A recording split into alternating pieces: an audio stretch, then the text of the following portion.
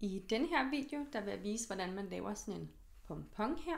Jeg vil både vise, hvordan man kan gøre det helt gratis med noget karton har jeg her. Det kunne også være øh, pap. Og øh, så vil jeg vise, hvordan man gør med sådan en her fra Clover. Og øh, de ligger i sæt af to til sådan noget 80-100 kroner og er mega børnevenlige og nemme at arbejde med.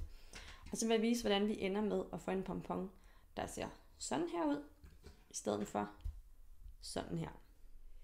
Her har jeg klippet to stykker karton. Jeg har bare tegnet efter et glas, og så har jeg fundet noget lidt mindre rundt og tegnet efter herinde i midten. Og så ligger jeg dem altså lige oven på hinanden her. Og det første jeg gør, det er, at jeg lige klipper ind til cirklen her. Og her på den anden side. Sådan der, fordi så skal vi nemlig bruge det her hul her, når vi skal vikle omkring, og så klipper jeg bare cirklen ud nu her i, øh, i begge lag. Så er den klippet, og jeg lægger den dobbelt, og så har jeg fundet en rest uld her. Og den sætter jeg bare lige til her, holder fast med fingeren, og så går jeg i gang med at vikle rundt her. Og øh, når vi vikler, så øh, er det en god idé at sådan vikle nogenlunde lige op, sådan så vi ikke får sådan nogle øh, underlige lange nogen her. Ikke? Så vikle sådan lige op ud fra her. Nu har jeg viklet garn rundt her over det hele, og selvfølgelig jo tykkere øh, lag du giver den, jo mere tæt bliver din pompon i udtrykket. Og du skal selvfølgelig lige sådan, du får sådan en god fornemmelse, når du lige mærker her, om den er nogenlunde lige tyk over det hele. Så har jeg lige klippet mit garn, og så sætter jeg lige ind under her. Sådan der. Og nu skal vi altså til at klippe den. Og der er det rigtig smart at finde en lille skarp saks. Det kunne jeg ikke finde i dag. Jeg kunne finde en stor skarp saks. Og så skal jeg altså ind her imellem de her to lag karton og klippe. Og samtidig med at klippe, så skal jeg passe på, at garnet ikke stikker af. Og øhm, der findes helt sikkert mennesker, der kan få det her til at se mere nemt og elegant ud, end jeg kan.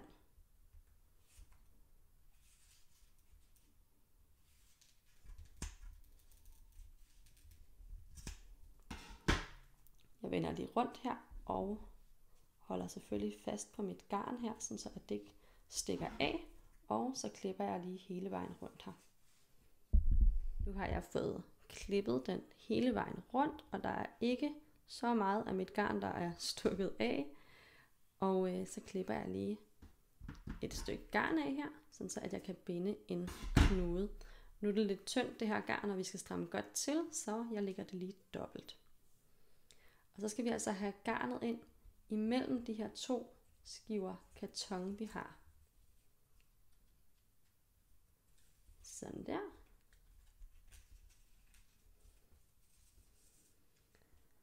Og så skal vi binde en stram knude.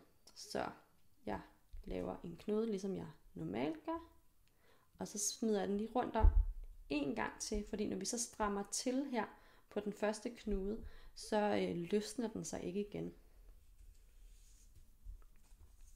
Så jeg strammer rigtig godt til her. Se, så løsner den sig ikke. Og så binder jeg lige en knude mere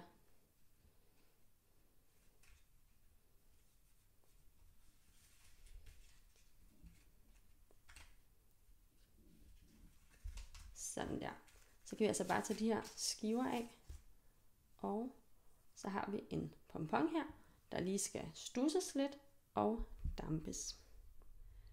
Mine øh, Clover Pommakers, dem har jeg to sæt af. Det her, det er mellemsættet, og det her, det er det lille sæt. Og den lille pompon, denne her, er lavet på denne her.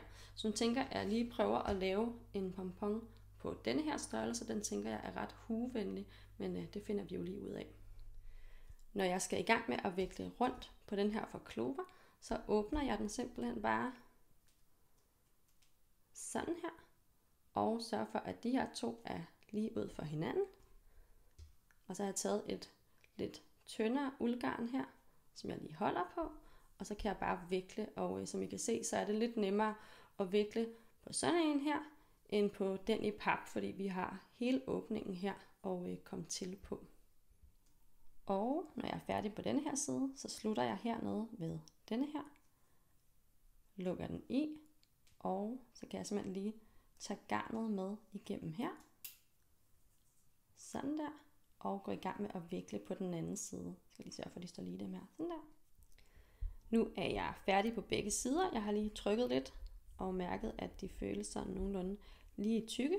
Og nu kommer det sjove altså med den her, fordi nu lukker vi den bare i. Og så klipper jeg garnet af. Og så går vi i gang med at klippe. Og øh, der behøver vi altså ikke at holde på noget, fordi at de her, de holder på garnet. Og der er ligesom sådan en, et hulrum hernede til at klippe i.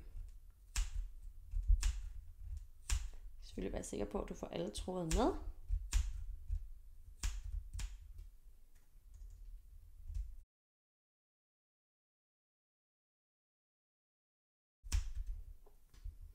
Meget nemt, ikke?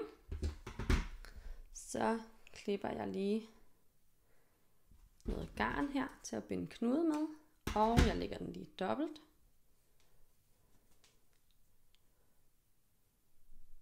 Sådan der. Og så sætter jeg den altså bare ind i det her hulrum. Sådan der. Binder en knude.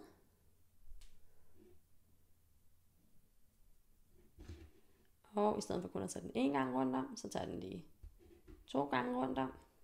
Så kan vi nemlig stramme rigtig godt til, uden at den går op igen.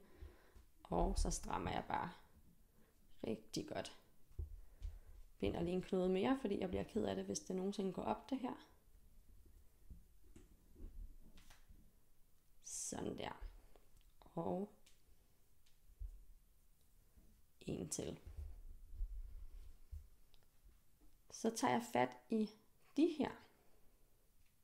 Så åbner jeg den simpelthen bare op her. Og i den anden side.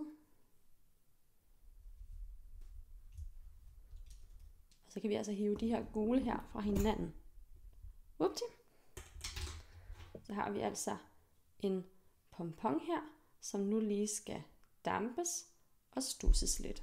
Nu skal jeg have øh, ordnet de her pompommer færdigt, sådan så de bliver rigtig flotte.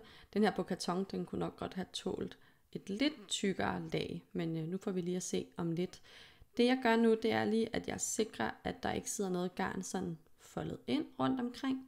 Og øhm, så skal jeg bruge noget damp. Og til det, der er det allernemmeste jo bare at sætte noget vand til at koge i en gryde, og så smider jeg de her to ned i en si, og sørger for, at de bliver dampet godt, fordi så vil de her garnender øh, altså åbne sig op, så de ser noget mere fluffy ud.